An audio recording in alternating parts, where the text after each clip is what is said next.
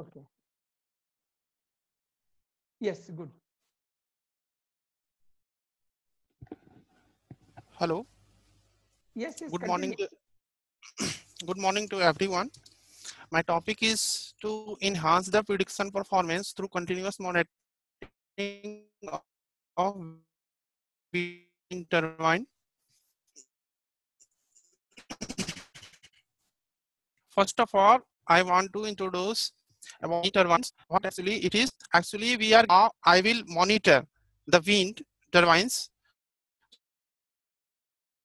so that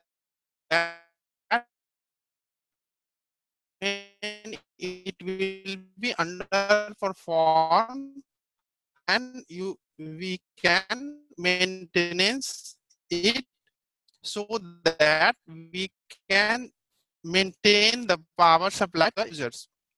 So wind is actually uh, converting uh, uh, the kinetic energy to mechanical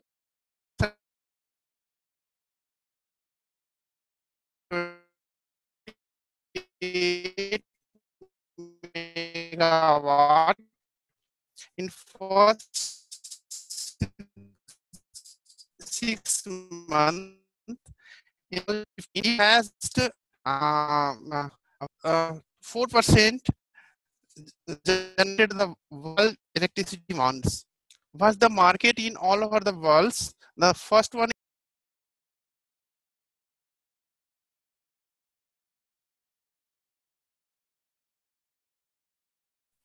uh, 63 gigawatt.